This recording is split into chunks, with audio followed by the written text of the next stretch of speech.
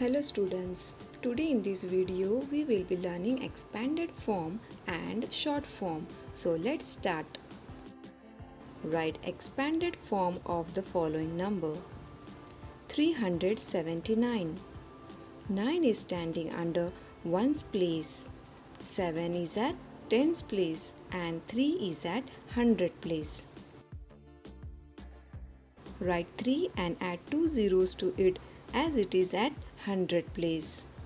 Again add plus sign, write 7 and since 7 is at 10's place add 1 0 to it. Again add plus sign and write 9 as 9 is at 1's place. Similarly we will solve next question. 485. 5 is at 1's place, 8 is at 10's place and 4 is at 100 place. Write 4 and add 2 zeros to 8 of 100 place. Add plus sign, write 8 and add 1 zero since it is at 10's place.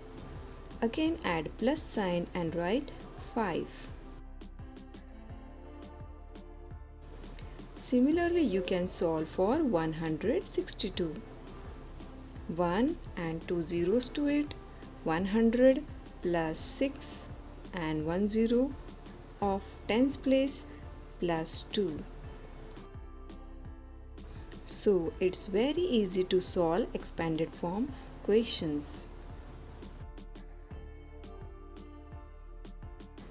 Let's move on to next topic that is short form.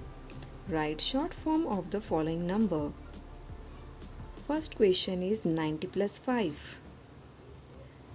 This 0 expresses that 9 is at tens place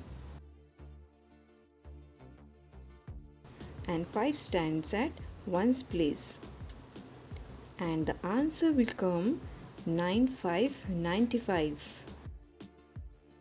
Next is 600.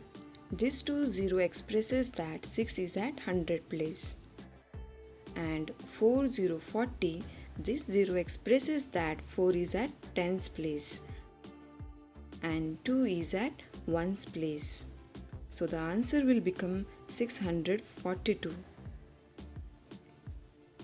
Similarly, we can solve next question. This 3 is at 100 place, 7 is at 10's place and 8 is at 1's place. So the answer will come 378. So short form is also very easy to solve.